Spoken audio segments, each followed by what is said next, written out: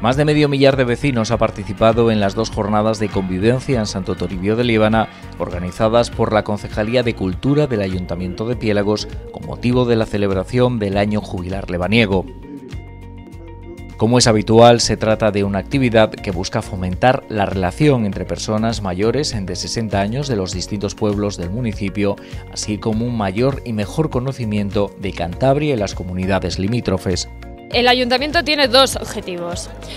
Y el primero principal es que los vecinos se tengan un día de convivencia, se encuentren entre ellos, puedan hablar con personas de otros pueblos que quizás solo sea el día de hoy, el día que se ven. Y, y bueno, que Piélagos cree lazos de unión. Ese es el principal objetivo. Al igual que en 2022, se han desarrollado dos jornadas consecutivas la primera con los vecinos de Arce, Barcenilla, Bo, Carambía, Liencres, Mortera y Zurita, y la segunda con los de Oruña, Parvallón, Quijano, Renedo y Bioño. En ambos casos, el Ayuntamiento de Piélagos ha organizado un servicio de autobuses que ha recogido a los asistentes en sus pueblos para trasladarles hasta la comarca lebaniega, haciendo una parada previa en Unquera.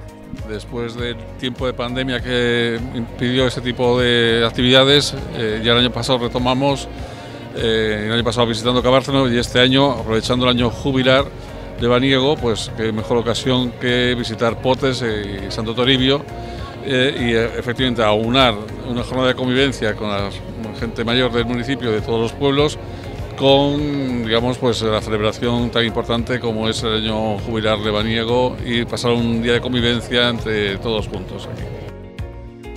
Una vez en el monasterio de Santo Toribio de Liébana, el cuarto lugar santo jubilar de la cristiandad, junto con Roma, Jerusalén y Santiago de Compostela desde la Edad Media, los vecinos de Piélagos han atravesado la Puerta del Perdón para asistir a la Misa del Peregrino. Posteriormente han venerado la reliquia del Lignum Crucis, el trozo más grande de la cruz de Cristo que se conserva en la actualidad. La experiencia ha sido súper positiva. Es la primera vez que vengo y me parece maravilloso. Yo creo que se han animado todos, pero el que no se ha animado es que se ha perdido algo muy grande y muy bonito, ¿eh? de convivencia y de...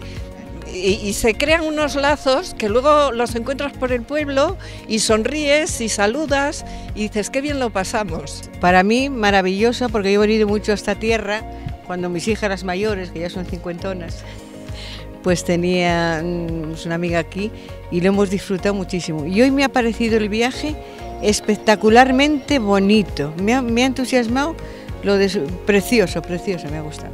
Y además me gusta mucho también la misa, la devoción de la gente y todas esas cosas que a veces parece que no queremos y, y nos acompañan.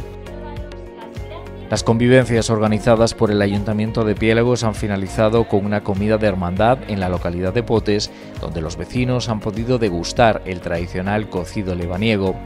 Después, la sobremesa la han realizado por las calles de la villa antes de coger el autobús y regresar de nuevo a casa.